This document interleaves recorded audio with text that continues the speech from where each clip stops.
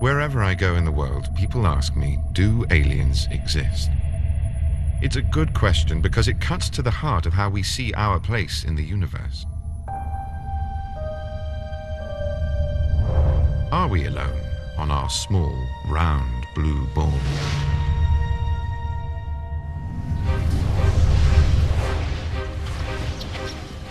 I think probably not, because of one fact.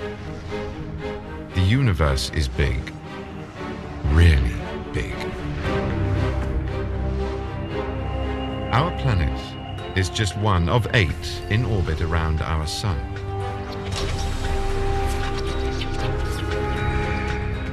Which itself is hardly special, being one of about 200 billion stars in a vast spiral.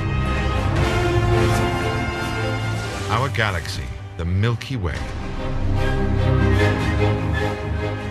It's so big, some days I find it hard to comprehend.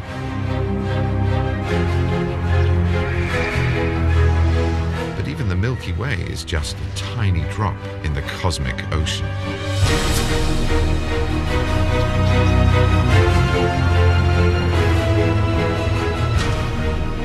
Just one of 100 billion galaxies, formed into an enormous web, stretching away in all directions.